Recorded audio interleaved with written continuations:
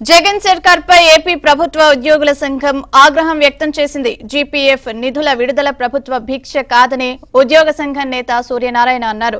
ఉద్యోగుల సొమ్మును ముట్టుకునే హక్కు ప్రభుత్వానికి లేదన్నారు. ఉద్యోగుల జీపీఎఫ్ ఖాతాల నుంచి నాలుగు కోట్ల రూపాయలను ఏపీ సర్కార్ తీసుకున్నట్లు కేంద్రం కూడా చెప్పిందన్నారు. ఉద్యోగులకు తెలియకుండా జీపీఎఫ్ సొమ్ము ఎలా తీసుకుంటారని ప్రశ్నించారు.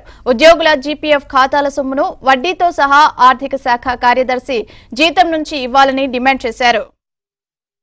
ప్రభుత్వం తరఫున ఈ జీపీఎఫ్ క్లెయిమ్స్ సెటిల్ చేసేసాము ఇక్కడ దాకా సెటిల్ చేసాము అని ప్రకటనలు చేస్తున్నటువంటి పెద్దలందరికీ వినమ్రపూర్వకంగా ఆంధ్రప్రదేశ్ ప్రభుత్వ ఉద్యోగుల సంఘం పక్షాన తెలియజేస్తున్నది ఏమనగా అయ్యా అది మీ అనుగ్రహం కాదు మీ దయ కాదు మీ భిక్ష కాదు అది మా సొమ్ము మా హక్కు అసలు దాన్ని ముట్టుకుంటానికి కూడా రాజ్యాంగము మీ శాసన వ్యవస్థకు కూడా అధికారం ఇవ్వలేదనేటువంటి విషయాన్ని సందర్భంగా మీకు మనవి చేస్తూ ఉన్నాం.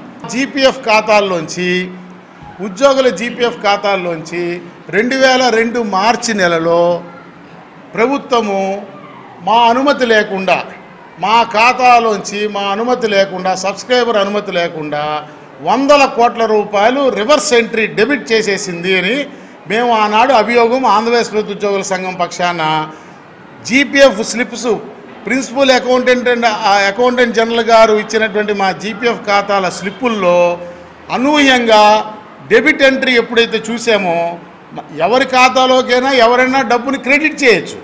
కానీ మన ఖాతాలోంచి మన అనుమతి లేకుండా డెబిట్ చేయడం అంటే విత్డ్రాల్ చేయడం అంటే అది భారత శిక్షా స్మృతి ప్రకారము క్రిమినల్ ప్రొసీజర్ కోడ్ కింద నేర శిక్షార్హమైన నేరంగా క్రిమినల్ నేరంగా ఆంధ్రప్రదేశ్ ప్రభుత్వ ఉద్యోగుల సంఘం అభిప్రాయపడుతుందనే విషయాన్ని మనం చేస్తాం.